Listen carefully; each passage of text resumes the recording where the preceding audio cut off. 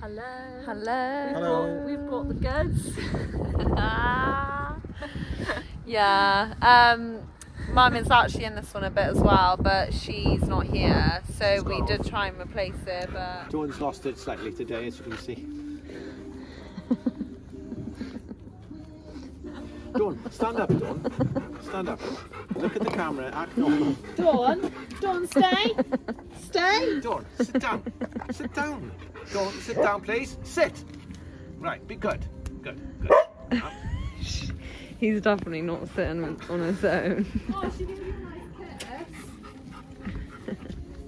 They're just a little couple in love. There's only so much you can do. like uh, ghost. Ghost. Yeah, only without you, which is a bit awkward. What do you mean, ghost? The film Ghost. Yeah, is it Ghost? Ah. There's pottery and it breaks Oh, into a bit of a yeah. sexy scene. Yeah, only you literally went there, so. Let's hope that didn't happen now. Anyway, um, our mum isn't here because yeah, we bought her that for Mother's Day. So moving on to today's video, we are turning some cattle out. Um, so yeah, we're just gonna go into that and yeah, Yeah, just show you um, what we do to get them to the field they go into, a bit of the process, and then yeah, see them happy in their field. Trying to get the timing right because it's been, uh, as most people know, quite a difficult year to turn stock out. I think we've turned out cows that's three times and had them back in, but Yeah. uh, they're permanently out now. Um, Oh, there they are. Be going out at night, hopefully uh, tomorrow. tomorrow night is the plan. And uh, s- girls have just said, yeah, we've we've got most of the stock out uh, the last couple of days. Yeah, Yeah, which was nice to so finally get them out. hope you enjoy. So our parents have been across the road, um, putting up a fence, ready for the cattle to go out to the field. I've just done all the gates now with Barney. Um, so we can run them down into the holding yard, ready for when the lorry comes, we can just load them straight on in. And there's a few we've got to split off, either because they're big heifers that need to go to the bull, or um, if they need to stay home for medical attention or anything like that. So we're just going to sort through them quick, and then they're ready to go across the road. Out, out day. You are all off. So these are our steers and young heifers. So young heifers who are too small to go with the bull. And then our steers who aren't quite fat enough yet, so they're going to go out. Have a bit of grub. In it, Ginge? A and they probably think they're being TB tested to be fair. So we're just going to put them through the race now um, and sort them out. So anyone who we don't want going or anyone because they're going away from the farm across the road via lorry, anyone who we want to keep home um, to make sure we can keep an eye on them, so on and so forth. We're going to split off now. So because they come through the race to TB test, they are a bit apprehensive, but. Oh.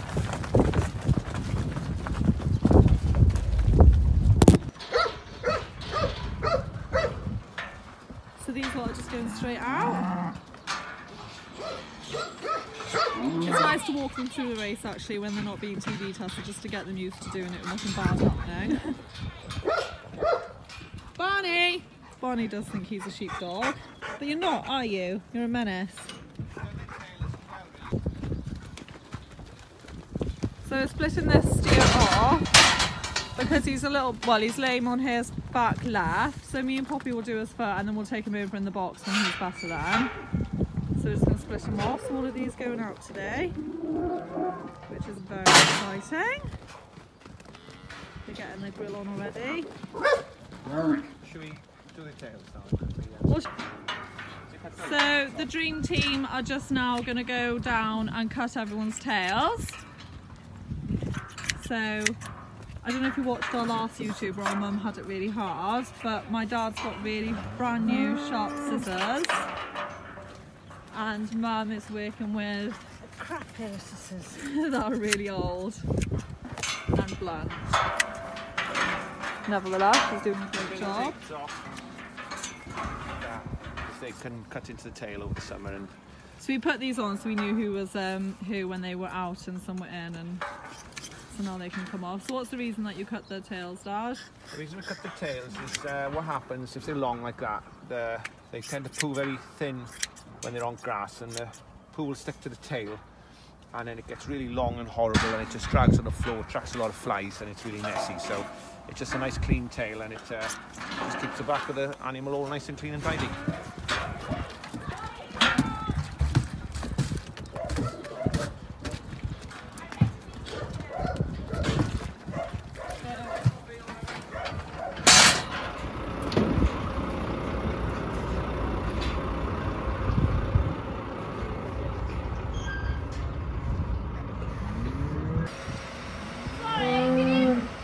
Yeah, up, You just go on a little bit. sorry. just a smid, Just a little bit, smidgen. Yeah. Hey,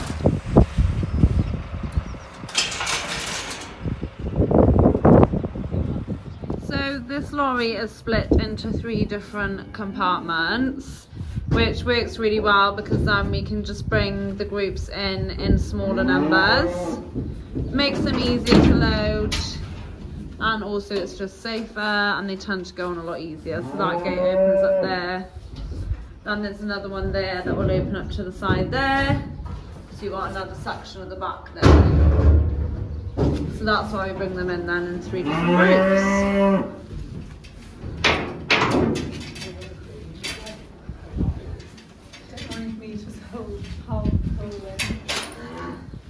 And then before we started, the floor was covered in sawdust, which has obviously gone mucky now. Um, but that just makes the floor a lot more grippy, so it stops the cattle from slipping then.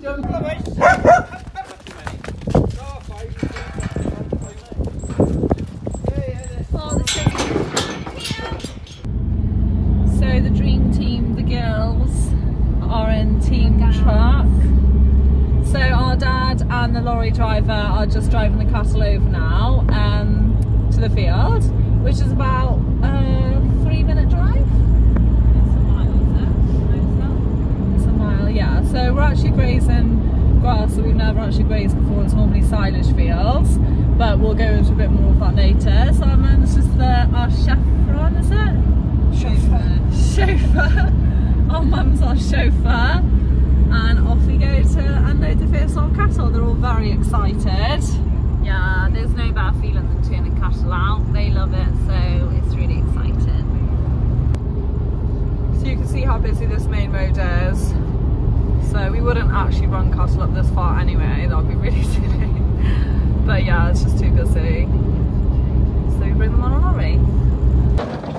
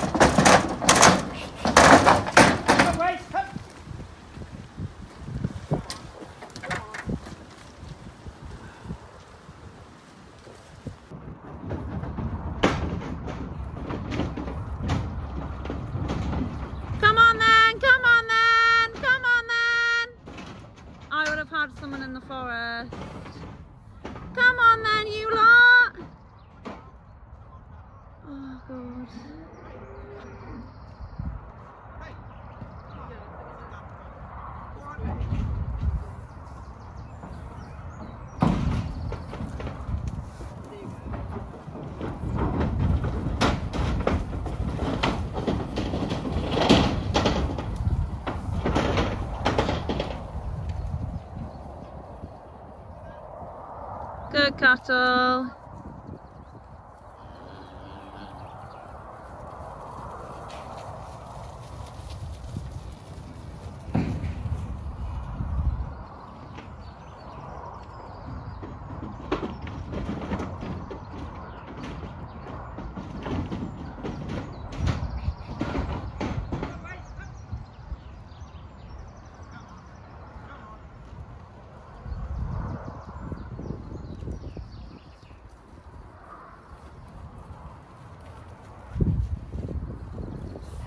Your fans are up there.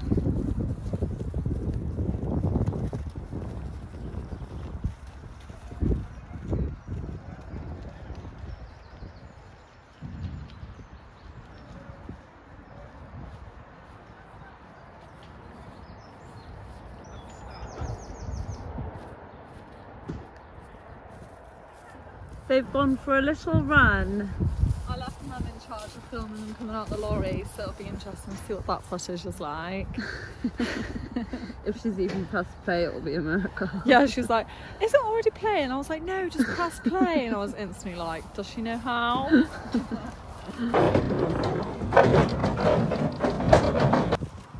I can't block. Whose phone is this? I can't block it. I don't know what I'm doing.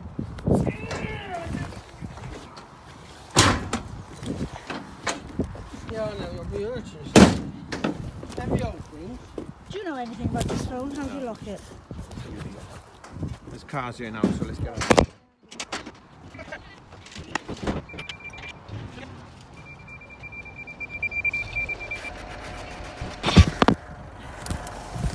I don't know how to. Whose phone is this? Yeah, because it's still live. I'm afraid. I don't know how you lock it.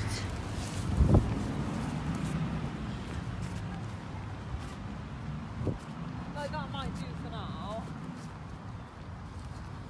So obviously we got to make sure we shut this gate because now the cattle are in there.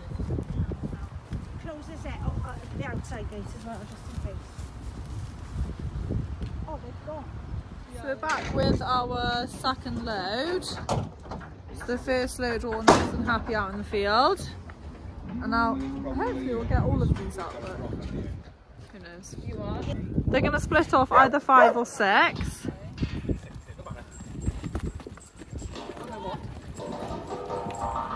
Our mother's just quietly up at the minute.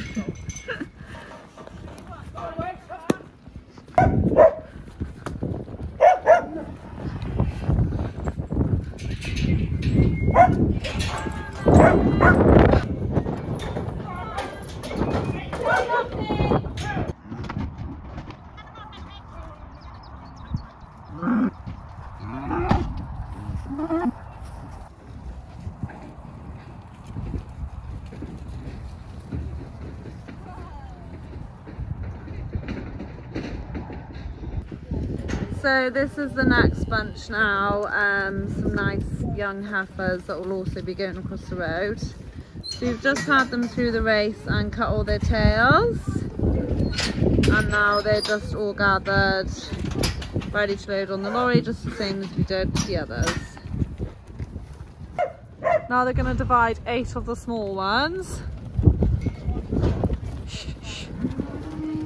But we just lost one. Yeah, that's enough now. Okay, so we split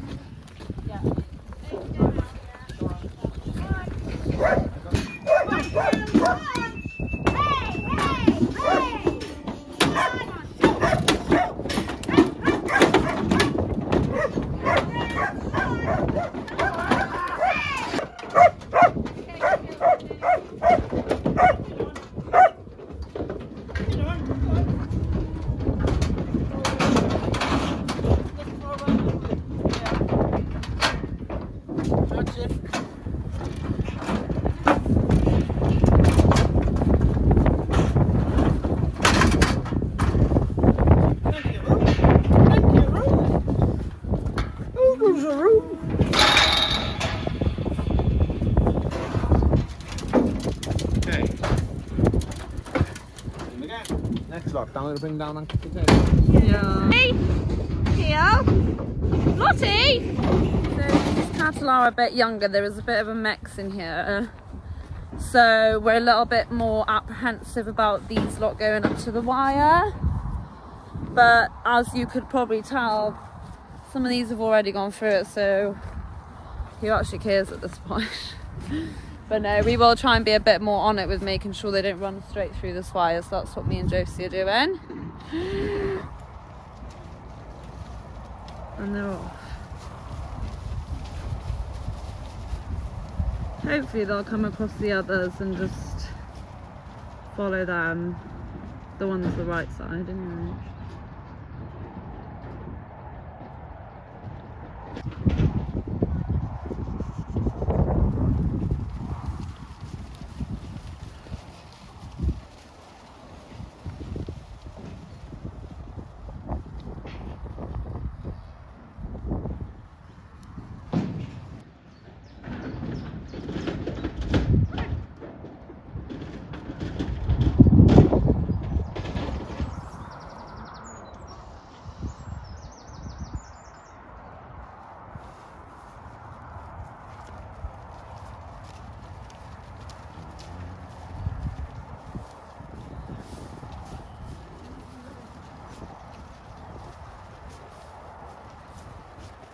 Yeah, well, like obviously that bit went alright, but who knows what they're doing up there. In a minute, they're probably going to come crashing down through this fence in excitement. We'll just cross that bridge when we get to We it. We already know that we've got about five alongside, and I'd say that is what happened. The fence is still up, and they're not going back over. So I'd say they ran down in excitement, saw the fence, stalled, and then their only option was to quickly do a leap. Leap of faith. Yeah, so this wire is literally going all the way up there and then across. And it is on electric, so it's got a solar panel there, so if they did touch it, they would get a shock. So they won't want to go over it, but Harmless but effective shock yeah, just to stop them having the whole field. Oh, sorry. Wow. Sorry. Josie just did me right over there. Mm. So we did just put three back over the right side that were across the wire. And we stupidly didn't film it, probably because it was so high intensity. Um, so we're hoping that's all of them, but we have got another group to join now, so we'll see.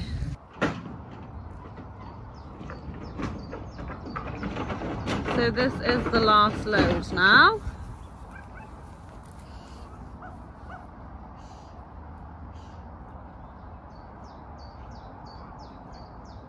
So they should just spot their friends and to their friends.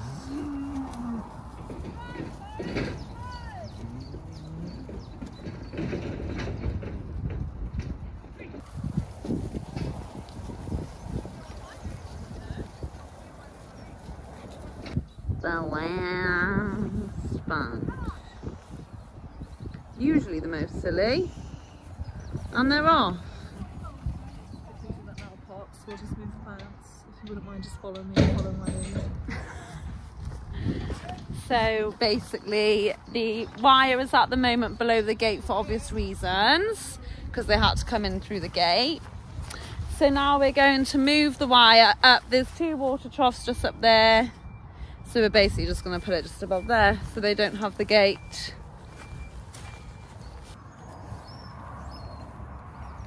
So dad's just keeping the wire tight because obviously the minute they see that go slack, they'll probably be over it in a heartbeat.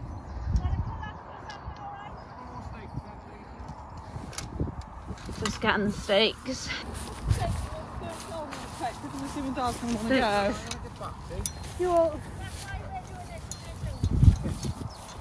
That's why we offered you to go separate more like.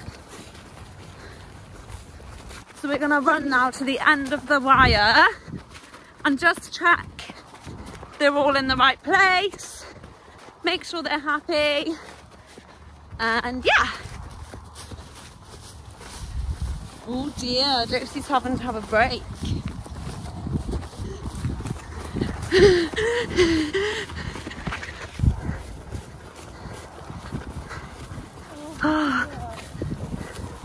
so we need to So we've made it to the top of the hill. They're all in the right place. Yeah boy! Four. It's a bit of a miracle actually really. So we've turned out about um, 70 cattle. So yeah, that was craziness for us now. So we've had a bit of a plover this year. They're actually grazing what would normally be our silage ground. But we've come out to check the silage ground and it's just it's just not good grass, like it's not growing and it's like, well, you can You see can kind it. of see it's just not doing that well. There's no lushness to it. it's just a bit sad. Yeah. So yeah, so um, what we've decided to do is the fields at home where these cattle would normally go to, like straight across the farm, you can literally see the fields. Um, that's where they would normally go, and that grass is actually doing okay. And especially in the one field, it's actually really quite long now. It's not far off being able to cut. Well, that's a bit dramatic, but we've decided to switch it up. So because this hasn't come, we're grazing here, and then we're going to cut silage where they would normally graze, just because our, like we always say in all our YouTubes, our farm is quite dry. We're really lucky. So because we're a dry farm, that has coped a lot better with the winter that we've had, which is why we're going to cut it with silage. Whilst for this has just really, really struggled. It's had a really hard winter. I'm sure a lot of farmers are in the same boat and understand. It's really difficult. We're, we're quite lucky in the sense that we have that option where we can graze this and use that for silage. A lot of farmers are just stuck full stop. So yeah, yeah, we're trying to make a positive out of a negative. Yeah, and another factor as well, which is the difference between this field, is we did quite a late cut of silage. So that was another reason, and the grass hasn't really had the time, the weather, or the nutrients to bounce back up. Um, and then the plan is once it's grazed, we're going to plough it, reseed it, and start again. So I'm sure we'll probably take you on that journey as well. You can see, despite it not being up to silage, it is a nice little bite. Um, so that's the reason we've got a fence and everything in here because the field literally goes all the way down to those trees. So it's quite a large field, so it'd just be a lot for them to graze in one go. So that's why we're strip grazing it so that they don't waste anything basically. Get it nice and low and then we can crack on with the next part. But they're loving life. Yeah. Loving 2024. Peace. so just quickly before we go, we've got a really good um, electricity fence tester here. And you literally just put the back on the wire like that, press the button, and it will tell me then how much it's kicking out. So it's 6.4 at the moment. But yeah, this is amazing because um, it just shows us the fence is working without us having to touch it because I can't physically touch it. So yeah, really handy.